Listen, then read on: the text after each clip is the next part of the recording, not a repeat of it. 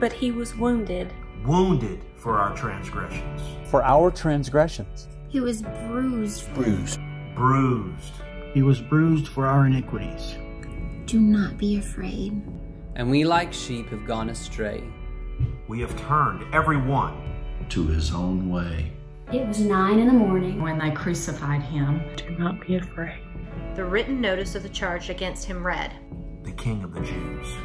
The King of the Jews. The sun stopped shining. And the curtain of the temple was torn in two. Do not be afraid. Jesus called out with a loud voice Father, into your hands I commit my spirit. Into your hands I commit my spirit. Into your hands I commit my spirit.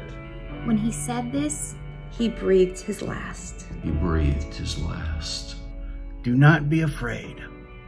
So Joseph bought some linen cloth, took down the body, wrapped it in the linen, and placed it in the tomb cut out of rock. Then he rolled a stone against the entrance of the tomb. On the first day of the week, very early in the morning, the women took spices they had prepared and went to the tomb. They found the stone rolled away. But when they entered, they did not find the body of our Lord Jesus. Do not be afraid. In their fright, the women bowed down with their faces to the ground. But the men said to them, Why do you look for the living among the dead? The angels said to the women, Do not be afraid. Do not be afraid. Do not be afraid. For I know you are looking for Jesus who was crucified. For I know that you are looking for Jesus who was crucified. He is not here. He is risen. He is risen. He has risen. For he has risen. Just as he said. Come and see the place where he lay. Do not be afraid.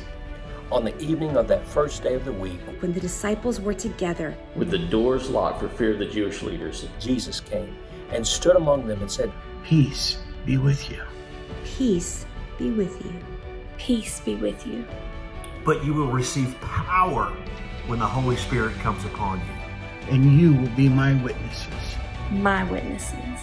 My witnesses. You will be my witnesses. For God so loved the world that he gave his one and only Son, that whoever believes in him should not perish, but have eternal life.